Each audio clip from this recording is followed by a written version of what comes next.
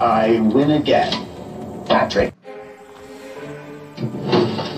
That's Sir Patrick. Oh, Sir.